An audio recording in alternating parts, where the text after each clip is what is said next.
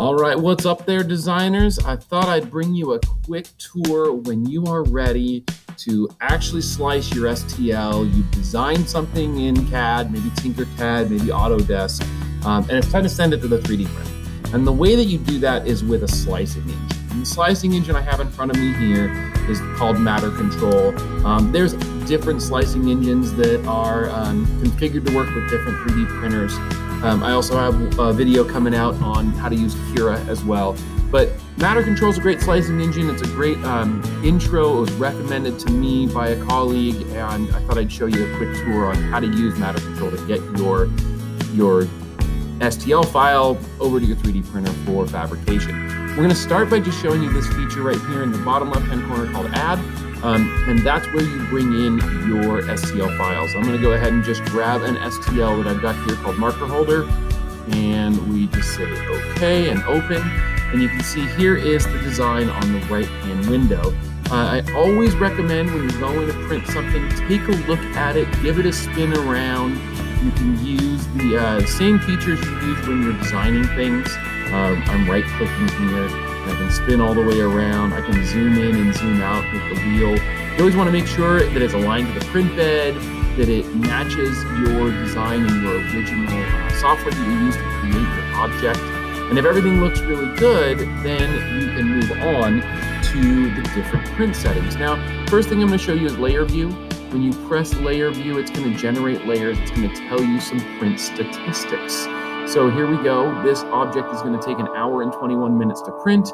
It's going to take 3,336.8 millimeters of filament. Um, it's going to weigh about 9.95 grams. Um, I can see the layer view in either 2D or 3D.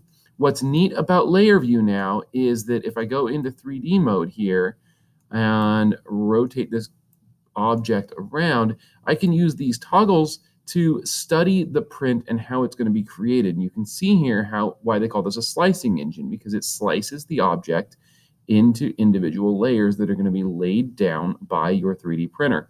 And I can look from the left to the right, and I can look from the bottom to the top. So that's really neat if you have a problem with a 3D print and you want to study where did that problem come from you can look at it layer by layer, which is pretty darn neat. Now over here under settings and controls, uh, you can get into some of the different settings that are going to be applied when you 3D print your object. Now, if you're a beginning 3D printer, I highly recommend that you just work with the presets. So there are presets for high quality, low quality, or medium quality. You can create your own presets as well. Um, in general, medium tends to work for just general prototyping of objects. What changes here is, watch, if I change to high quality and click generate layers, remember my hour and 21 minute print job? Watch what's going to happen to it once it finishes creating these different layers and writing them.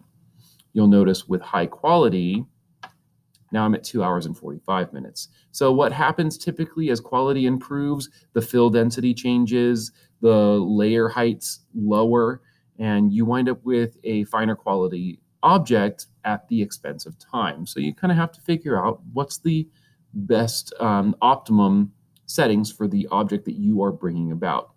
Now, one thing that we can do here is under quality, if we switch to standard here, um, notice here under layers and surface, I can change layer heights. These are all preset. Uh, under infill, I can change the fill density. Uh, under skirt and raft, we can decide if we're going to have a skirt that's a particular distance from the object. We can make it create a raft if we're having problems uh, with bed adhesion. Um, it's useful for really narrow parts as well. What's cool about Matter Control is if I put my cursor over some of these things, you can learn about the different settings because it gives you a summary. Right? Um, and also support material, and you have to decide when you want to apply support material. A general rule of thumb is if you have overhangs that are greater than 45 degrees, you're probably going to want to use some type of support material. So here I've got support material generated. I can select it or I can deselect it. I can also change different support types. So layers and surface, infill, skirt and raft, and support material are all things that I have to decide about before I go to bring my 3D print to life. Assuming everything looks good, then under 3D view here, um, if I'm ready to go, I can hit export. And what happens when I go to export this is I can export the file as a G code, and then I can save that file and I can go bring it to my 3D printer. A lot of 3D printers work by exporting a G code to a thumb drive and then bringing that G code over to the 3D printer and physically plugging it in. Uh, if you're fortunate enough to have your computer connected to your 3D printer, you can print directly from a slicing engine as well. Um, those are the basic features. Oh, one other thing I want to show you is under edit. Um, edit the object does allow me to rotate the object to different degrees, to align it to the print bed. I can scale the object different amounts with different ratios here in Matter Control.